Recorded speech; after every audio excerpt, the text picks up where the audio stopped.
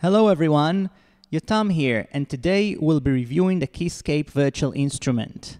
Keyscape is a collection of 36 different keyboard instruments ranging from grand and upright pianos to electric pianos, harpsichords, clavichords, and all sorts of exotic keyboard instruments.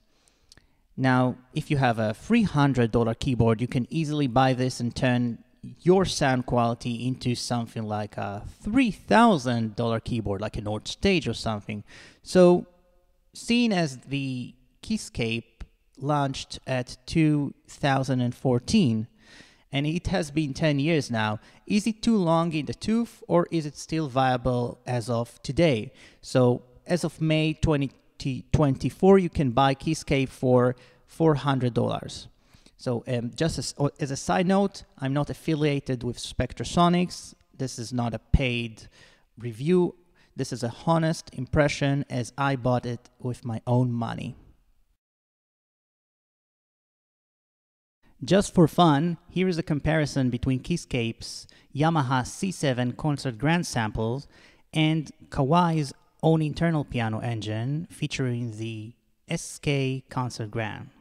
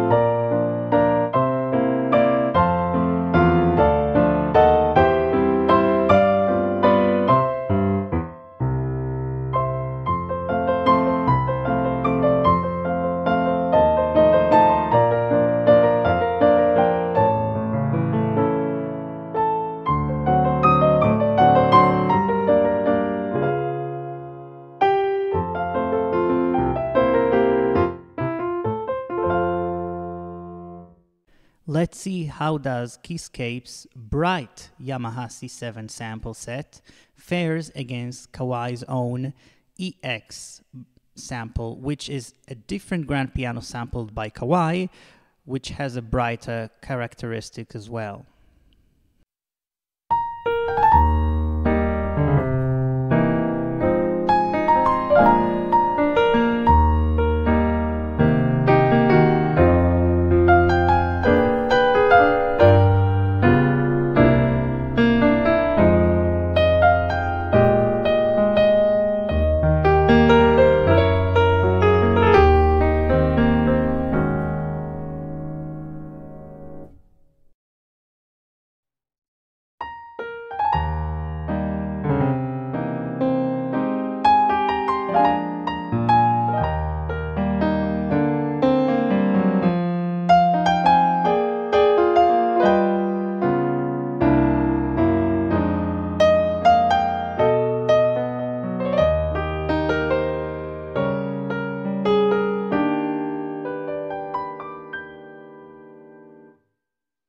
By the way, this is only the first part of the review, so stick around for more because in the next part I'm going to be demonstrating and reviewing the electric pianos, the Rhodes, the Wurlitzers, etc., as well as the more exotic keyboard instruments.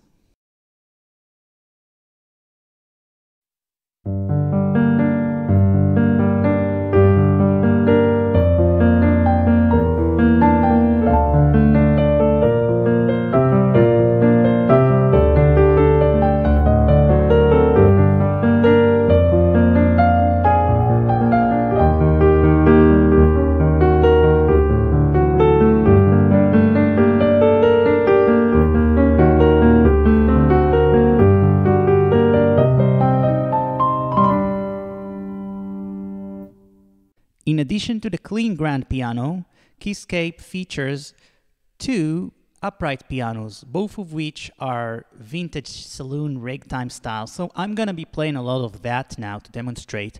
And one of these upright pianos is extremely special because it's what's called a tack piano. So basically it's a modification in which nails or small metallic objects are mounted on the hammers. So every time a hammer strikes, it gets this sort of uh, metallic, teeny sound. So it's asso associated with early 20th century sound, silent movies as well.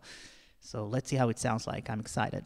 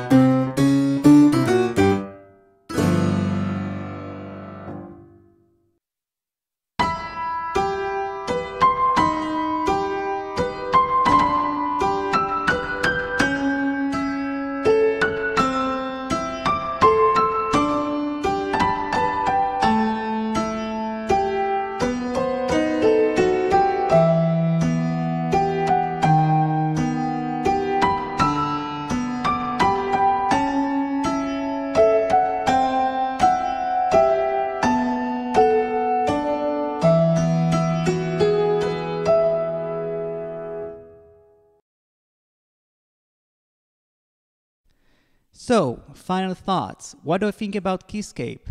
Does it hold its own in 2024?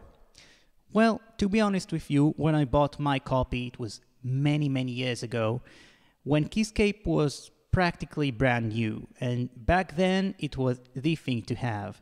Now, if I'm being honest with you, today, if I were to buy a new VST piano plugin, I wouldn't be buying Keyscape. Why? Well, if you're interested mainly in acoustic piano. That is, you're a piano guy, you don't care about electronic harpsichords and, you know, celestas and stuff. Well, Keyscape only has one, one sample of a grand piano, of an actual clean, not like a saloon thing, an actual grand piano, the Yamaha C7. And it doesn't offer anything else.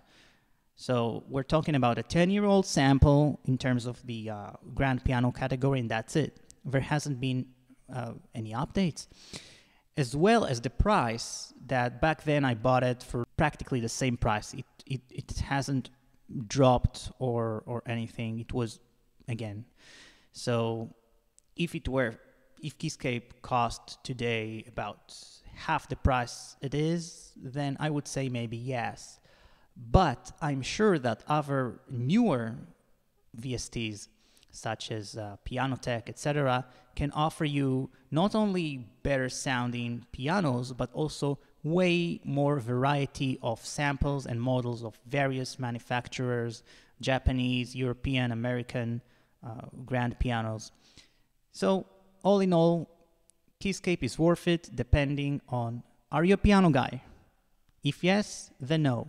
If you're also interested in Rhodes, well, it says harpsichords, all sorts of interesting and um, well unique toys to add to your compositions and tunes, well, stick around for the next episode of this review, and maybe you'll change your mind and you think, well, actually, hearing those sounds, hmm, that got me more interested. So, with that being said, see you guys next time. Bye bye.